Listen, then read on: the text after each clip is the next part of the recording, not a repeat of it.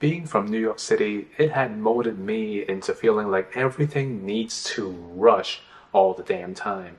And this includes walking on the street, also includes taking the train, and of course, driving. So if there's any traffic, I get pretty upset.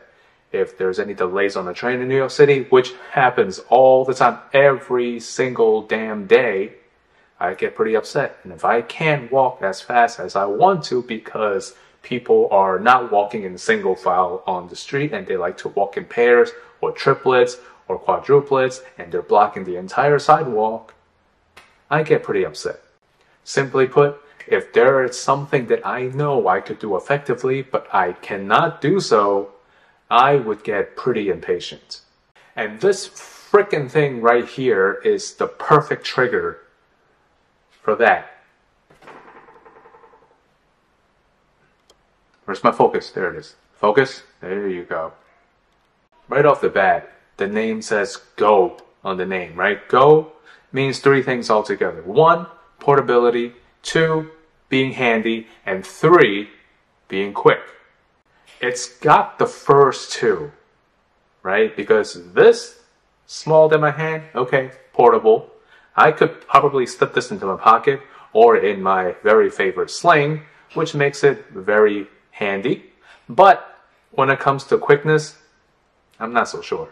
So here are some of the things about this camera that I hate because they simply are just not time effective for a New Yorker such as myself.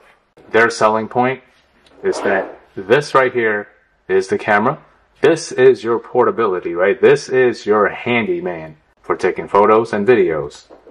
And the fact that you could put this into here magnetically and you're able to see what you're filming and you could flip this over. It's supposed to make it the perfect vlogging, small, portable, handy, put it anywhere camera. But what I really hate about this thing is the location of these buttons, right? So in order to take this guy back out, you have to press onto this release button. This is a mechanical button only, right? It's not just a button.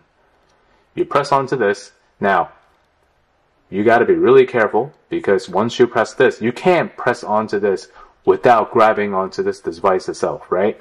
So on the other side, you have two buttons. One is the power button and the other one is your other button to switch between modes.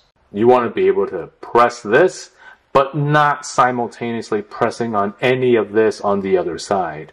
But that's really hard to do given that these two buttons took up most of the space on the other side.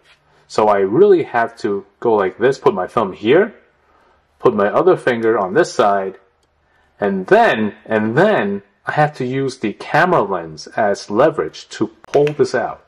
Having to compromise that way, nah, not a New York thing. So the second thing is pulling the screen out, flipping it out, right?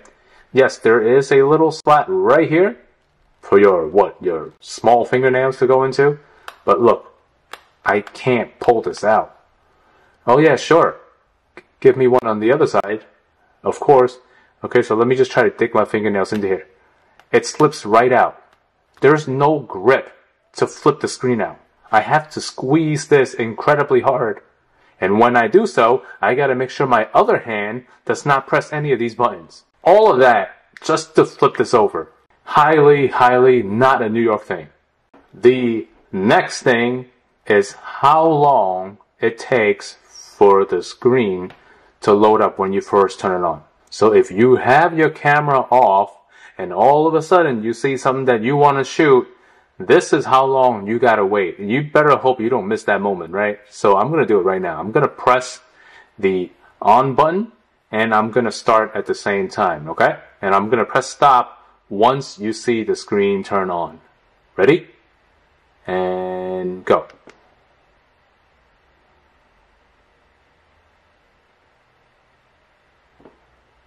So that was about, so let's say given my reaction time, it's under six seconds, but well above five seconds. So if you have five, let's say five and a half seconds to waste, sure, sure, this is the camera for you. So yeah, for me, that takes way too long. Now there is a quick capture mode where when the camera is off and you press the record button, it will automatically record for you, but there will be a delay in the display However, during that delay, there is actually recording going on. So what I'm going to do is I'm going to see how long it takes from me pressing this button to when it starts recording. So it's not going to be actual seconds, but I'm going to count from 1 to maybe 10 and see what number it will start recording. So I'm going to, when I press this, I'm going to say 1 and hopefully maybe by two or three, it will start recording. And then maybe four or five, I will start seeing the display. So here goes. Ready? One, two, three, four, five, six, seven, eight.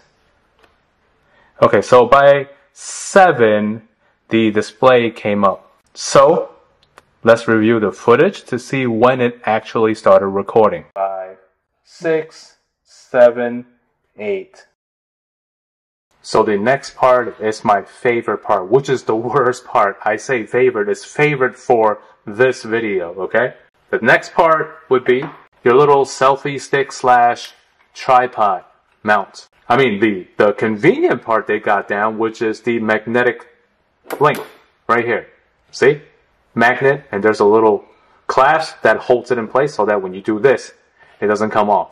But if you are vlogging and you like to set this on a table and you want to talk to the camera, guess what happens? You could turn this into a tripod, but look at this. You open all three of these legs and you try to set it down. This little thing right here is hitting the ground first or hitting the table first. So, okay, you will say, okay, why don't you just extend this, pull this out, so that this comes up a little bit. Yeah, that is true if I could pull it. So without touching the tripod legs, I'm going to attempt to pull this, right? So I'm going to do this, pull, pull, pull, pull, pull, pull, pull. I'm pulling all the way. Look, I can't tuck this anymore, right? With normal strength. Look at this. The fourth leg is still hitting the table first. So what you really have to do is now I'm going to try to, I have to close these legs, pull, then open. Now, my camera's way too high. The camera, here. The camera's way up here, way above my head. What I have to do next is to push this back down. Now I lowered it significantly just so this does not hit the table first. Which is completely, utterly annoying to do every time you want to talk to your camera, but you don't want to hold it because you're sitting down at a restaurant somewhere and you just want to talk to the camera. This is annoying. This part is probably the most annoying part for me. So, connectivity, right? I have this hooked up to my MacBook and I'm trying to transfer files over. So I'm waiting for this to show up here. Well, right now it's not showing because I didn't turn it on. So watch what happens when I turn it on. Right? Look how long I gotta wait. So I'm gonna turn this on right here. And it's on. It's on. But it won't show up on my computer yet until it says U disk mode. This, let me tell you something. This does not work all the time. This will not show up if your camera is bugging out. So one time I had to unplug this entire thing, plug it back, turn it back on, and it still wouldn't work. So one way to reset this if you are having any issues with the U-Disk mode, all you have to do is actually remove this one while you turn it off, put it back in, turn it back on, and this should reset itself and it should be good to go. But this has happened to me at least two to three times and it's super annoying. So once I hit U-Disk mode, this right here should pop up. The Insta360 should pop up. Right there. Overall, I really like how handy and portable the camera is, but in terms of how quickly I could capture things when I see them, I would say I would give it 7 out of 10. But if you're a patient person, unlike me, it's a solid camera to get, don't get me wrong. So, enjoy!